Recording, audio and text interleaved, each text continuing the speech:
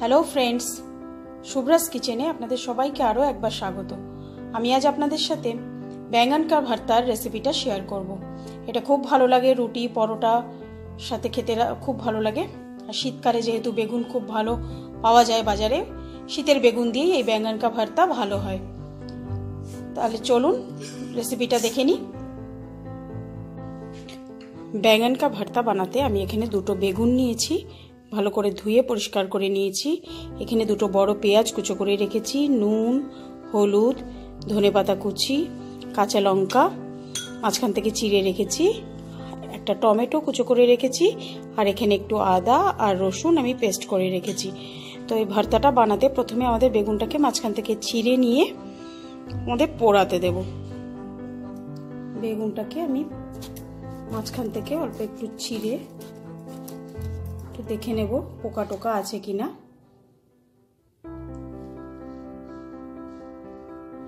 এবার এটাকে আমি পড়িয়ে নেব। গ্যাসটাকে অন করে নিয়ে আমি বেগুনটাকে রেখে দিয়েছি। এটা পুড়লে তারপর আমি আপনাদেরকে দেখাচ্ছি। একটা কথা বলি, বেগুন ভর্তা এই বেগুনটাকে পুড়িয়ে নিয়ে আপনারা জলের মধ্যে দিয়ে দেবেন। তাতে খোসাটা খুব ভালো করে উঠে আসবে। নয়তো খোসা এমনি ছাড়াতে গেলে আমাদের খোসা, খোসার সাথে অনেকটা বেগুন নষ্ট হয়। তো বেগুনটা পোড়ানোর পর একটু জলে ভিজিয়ে রাখলে ইজিলি খোসাটা বেরিয়ে আসে। তো বেগুনটা আমি পুড়িয়ে নিই প্রথমে। দেখুন, বেগুনটা পোড়ানো হয়ে গেছে আমার। চারদিক থেকে খুব সুন্দর করে পুড়ে গেছে।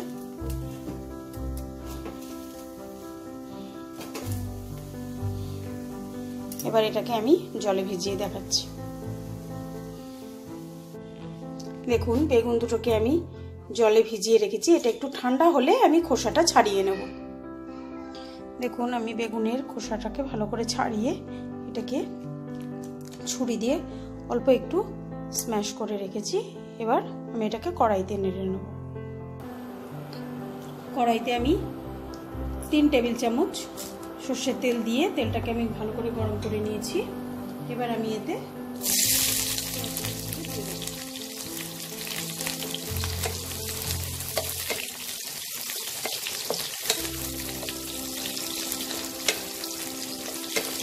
পেঁয়াজটা হালকা ব্রাউন করে আমি ভাজবো। পেঁয়াজটা হালকা ব্রাউন হয়ে গেছে। এটা করতে পেঁয়াজটাকে খুব বেশি করে ভাজতে লাগে না। পেঁয়াজের ক্রাঞ্চিনেসটা মুখে পড়লে ভালো লাগে। তো এবার আমি আদা, রসুন, বাটাটা দিয়ে দেবো।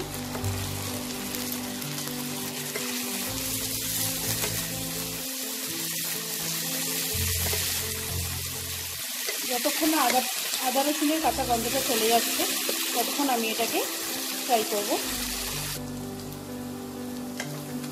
আদা, রসুনের কাঁচা স্মেলটা চলে গেছে। এবার এতে আমি টমেটো কুচিটা দিয়ে দেবো। কাঁচা লঙ্কাটাও দিয়ে দেবো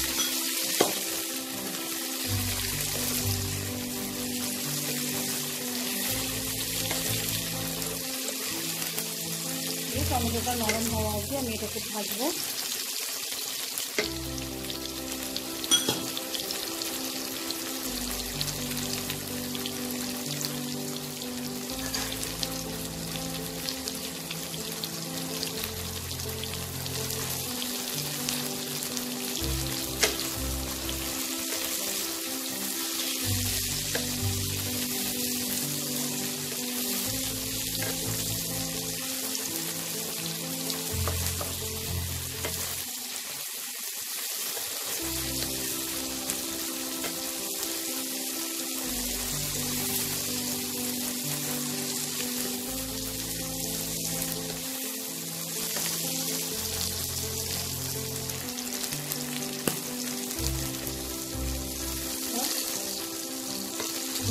হলুদটা দিয়ে দেবো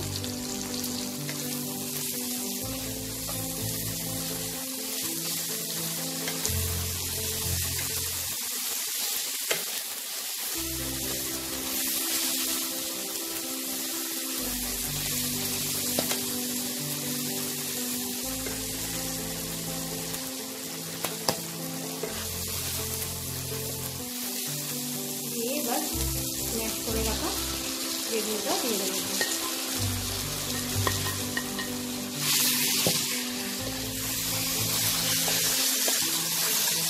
এটাকে ভালো করে মিশিয়ে নেব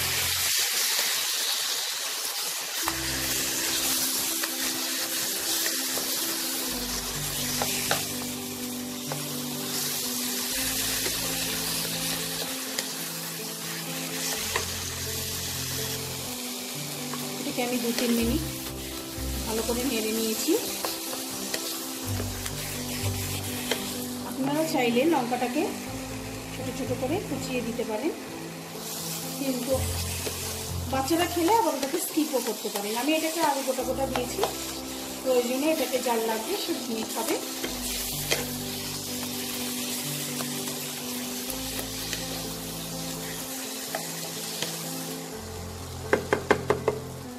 এবার এতে আমি ধনে পাতা কুচিটা অ্যাড করে দিচ্ছি।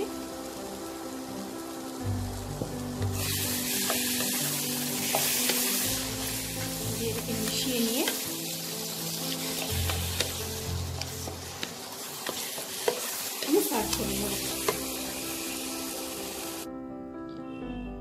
আমি এক সার্ভ করে নিয়েছি ব্যাঙ্গান কা ভর্তা। তো আপনাদের যদি আমার এই রেসিপিটা ভালো লাগে লাইক করবেন শেয়ার করবেন এবং অবশ্যই কমেন্ট করে জানাবেন। আর যারা আমার চ্যানেলটাকে সাবস্ক্রাইব করেনি তাদেরকে বলছি, তারা আমার চ্যানেলটা সাবস্ক্রাইব করে নিন আর বেল আইকনটা টিপতে ভুলবেন না।